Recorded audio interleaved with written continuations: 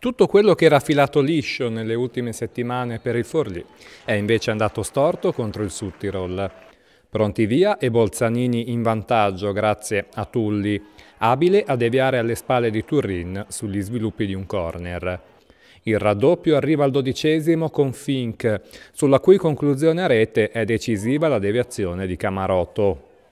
Forlì che reagisce da par suo al ventottesimo accorcia Tentoni, che infila Marcone sul proprio palo. Poi al 42esimo il Mani di Brotonier costa caro al Sud Calcio di rigore che però Bardelloni spreca inopinatamente. Nella ripresa la chiude Cia all'84esimo, il gol del definitivo 3-1 per il Sud a lungo aveva sperato nel colpaccio il Sant'Arcangelo a Teramo, con Cori bravo a procurarsi un rigore al sedicesimo e a trasformarlo per il vantaggio giallo-blu.